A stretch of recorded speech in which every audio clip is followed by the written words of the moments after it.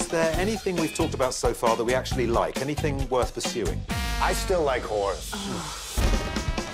I also have a little bit of news. Mark and I are in such a good place. I might be pregnant. All right, I'm a racing horse. Ooh. What about racing horse? I've got big news. Big, big? Pretty darn big. I just like horse so much.